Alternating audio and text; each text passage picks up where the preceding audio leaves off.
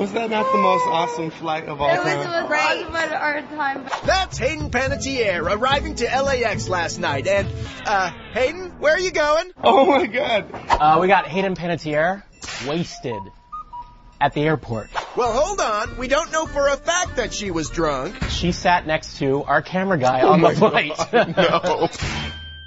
Two of our camera guys. Oh no. Can you sign autographs after drinking a bottle of wine?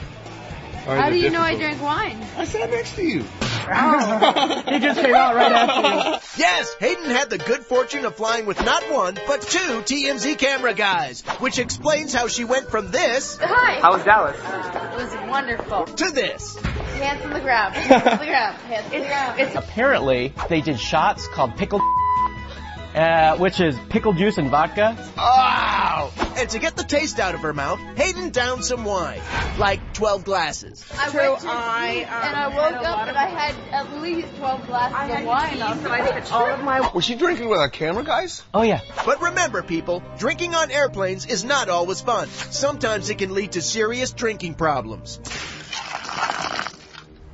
And that fills our airplane clip quota for the week.